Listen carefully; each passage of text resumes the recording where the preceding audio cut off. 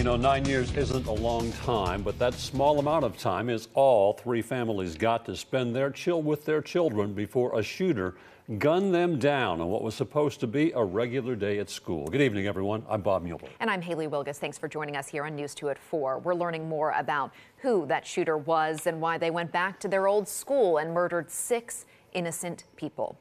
The police chief revealed disturbing details today about the shooter.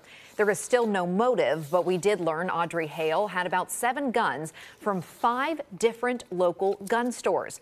Hale hid the guns from their parents, but they were all bought legally. Chief John Drake says Hale used three of those guns yesterday. Drake says Hale's parents were worried and felt Hale should not own guns. As far as the manifesto goes, we heard about that yesterday. Chief Drake said Covenant wasn't the only school mentioned.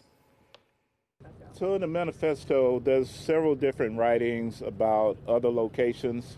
Uh, there were locations. Uh, there was uh, talks about um, the school. There was a map of the school, a drawing of how uh, potentially she would enter and the assaults that would take place.